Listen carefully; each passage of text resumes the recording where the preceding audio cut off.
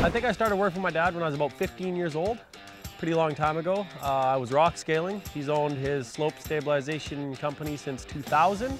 That would have been around 04, 05 that I started working for him, and I've been doing it ever since. Another day of the life. I call my dad Mike lots, actually, almost all the time. I get in trouble for it. The reason I call him Mike is because I've worked for him for so long that you call him dad, he doesn't listen. If you call him Mike, it's like a, it's like a business thing, like a work thing, and he listens better. So if you call him dad, oh, whatever, my kid's yelling at me. But if you say, hey, Mike, he's like, oh, must be more important. So I just found Mike works better to get his attention.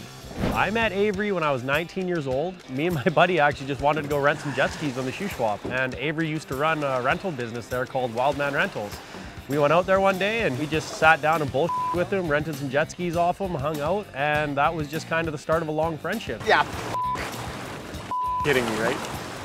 I can guarantee you that uh, there's no fuel in it. sakes. As much of a hard time as I give him, I feel very grateful for my dad because he taught me that if you want something, you have to go out there and get it. Don't, no one will give it to you. You can't just sit back and expect it. So if you want something, you get off your ass and you work. And that's what I'm grateful for.